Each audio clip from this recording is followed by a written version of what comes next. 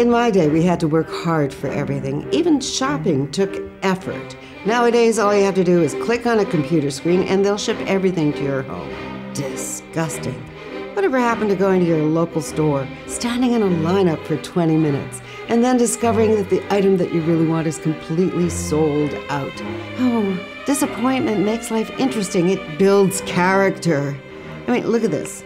This tea set is for sale, but I want to know if it's available in different colors, so I just click on the Talk to Chat button, and I can ask the sales representative any question I want. Ooh, look at that. It's available in the color I want. And they can have it shipped to me by tomorrow.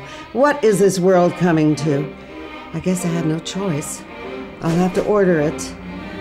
No going out in the cold, no slipping on the icy streets, no dying of the heat in the summer, and what is worse, no building character.